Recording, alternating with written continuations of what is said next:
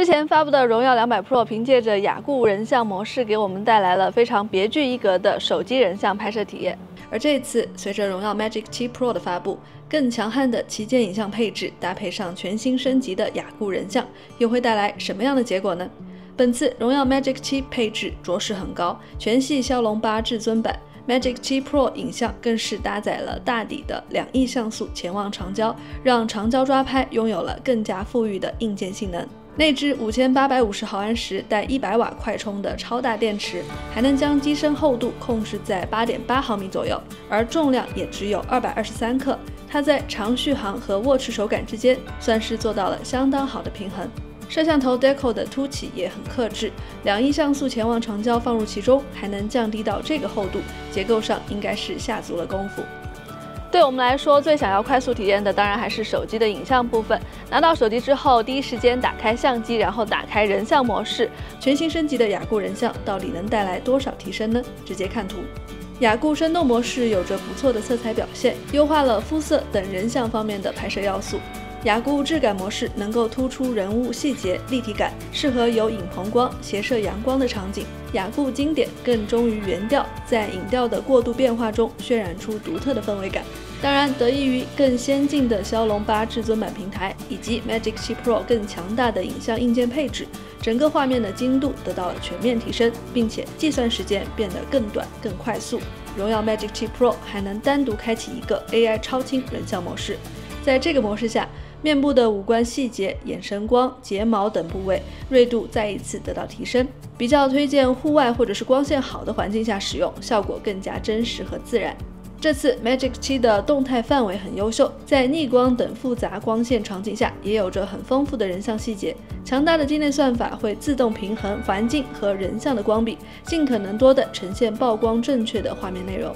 手机拍摄演唱会需求旺盛，Magic 7 Pro 自然也不会缺席。全新的舞台模式能够很好的平衡舞台复杂的灯光，给到主体一个尽可能正确的曝光和色彩还原，让舞台拍摄更加轻松。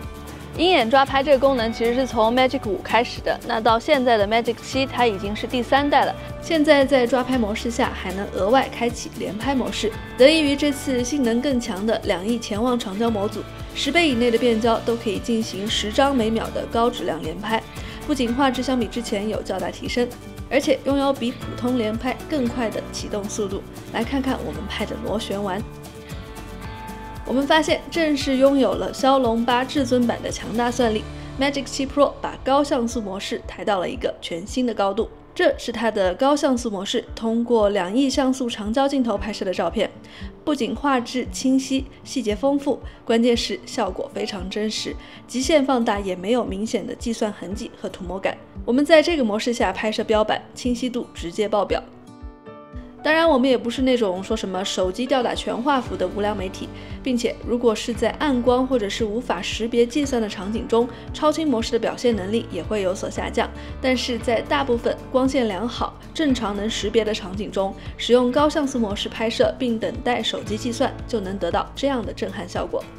所以这大概就是骁龙八至尊版的高计算能力以及两亿像素潜望高清模组相结合的一个结果了。我们觉得，相比于其他手机的高像素模式，它所拍摄出来的照片更接近于相机拍摄的质感，给我们留下了非常深刻的印象。在手机平台的性能持续高速发展的今天，手机摄像头如何利用好这些性能，帮助用户拍到需要的画面，这是厂商一直都在思考的问题。